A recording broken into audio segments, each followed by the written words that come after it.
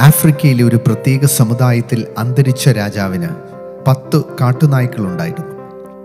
തെറ്റു ചെയ്ത തന്റെ സേവകരെ പീഡിപ്പിക്കാനും ഭക്ഷിക്കാനും രാജാവ് നായ്ക്കളെ ഉപയോഗിച്ചു. ഒരിക്കൽ ഒരു സേവകൻ തെറ്റായ ഒരു അഭിപ്രായം പറഞ്ഞു. രാജാവിന് അത് ഒട്ടും ഇഷ്ടപ്പെട്ടില്ല.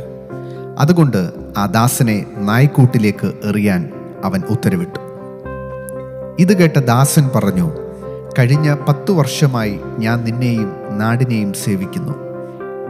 എന്നോടാണോ ഇങ്ങനെ ചെയ്യുന്നത്?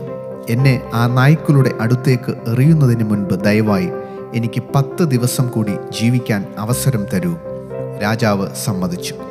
ആ പത്തു ദിവസങ്ങളിൽ വേലക്കാരൻ നായ്ക്കളെ നോക്കുന്ന കാവൽക്കാരന്റെ അടുത്തേക്ക് പോയി. അടുത്ത പത്തു ദിവസത്തേക്ക് നായ്ക്കളെ സേവിക്കാൻ ആഗ്രഹിക്കുന്നുവെന്ന് പറഞ്ഞു.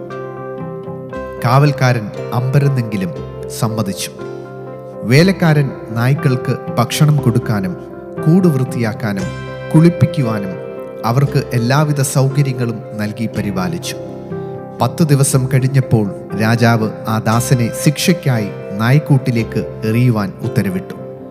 കാവൽക്കാർ അവനെ നായ്ക്കൂട്ടിലേക്ക് വലിച്ചെറിഞ്ഞപ്പോൾ നായ്ക്കൾ വേലക്കാരന്റെ കാൽ മാത്രം നക്കുന്നത് കണ്ട് എല്ലാവരും അത്ഭുതപ്പെട്ടു. അമ്പരന്ന രാജാവ് ചോദിച്ചു എന്റെ നായ്ക്കൾക്ക് എന്ത് സംഭവിച്ചു? കൂട്ടിൽ കിടന്ന ദാസൻ മറുപടി പറഞ്ഞു ഞാൻ നായ്ക്കളെ സേവിച്ചത് പത്തു ദിവസം മാത്രം. അവർ എന്റെ സേവനം മറന്നില്ല. എന്നിട്ടും കഴിഞ്ഞ പത്ത് വർഷം ഞാൻ നിന്നെ സേവിച്ചു. എന്റെ ആദ്യ തെറ്റിൽ തന്നെ നീ എല്ലാം മറന്നു.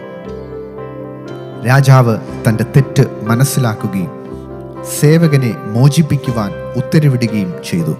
ഒരു വ്യക്തി തങ്ങളോട് ഒരു തെറ്റ് ചെയ്താലുടൻ അവർ ചെയ്ത നല്ല കാര്യങ്ങൾ മറക്കുന്ന എല്ലാവർക്കും ഒരു സന്ദേശമാണ് ഈ കഥ. നമുക്ക് ഇഷ്ടപ്പെടാത്ത ഒരു തെറ്റിന്റെ പേരിൽ നന്മ നിറഞ്ഞ ചരിത്രം ആരുടേതായാലും മറന്നു കളയരുത്. എന്നാൽ മാറിയ ലോകത്ത് നമ്മൾ സഞ്ചരിക്കുമ്പോൾ പുതിയ അഭിനവ രാജാക്കന്മാരെ ഇന്നും കണ്ടുമുട്ടുവാൻ സാധിക്കും.